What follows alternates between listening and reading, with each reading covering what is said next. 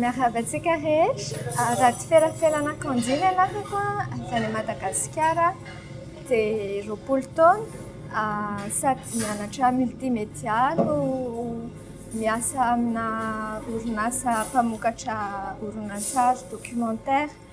dia aty amin'ny vovonana iraisam-pirenena ny Global Voices aty Philippines isika izao no miresaka dia za sady miteny gasy no miteny frantsay no miteny anglisy fa androany aho dia hiresaka aminao manokana momba ny teny malagasy ny teny malagasy izany dia misy karazany maro arakaraka ny foko sy ny faritra misy anao ohatra hoe misy ny Betsileo, misy ny Antandroy fa ny teny tena resahana zany any Madagasikara dia ny teny merina izay zany no tena ofisialy dia ankoatr'izay moa zany dia ny teny frantsay betsaka ihany koa ny Malagasy.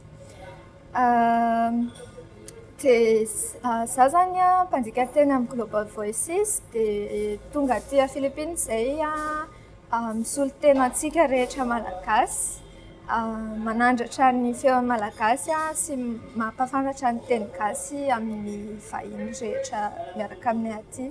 Dia misaotra anao nihaino hatramin'ny farany. Veloma tompoko.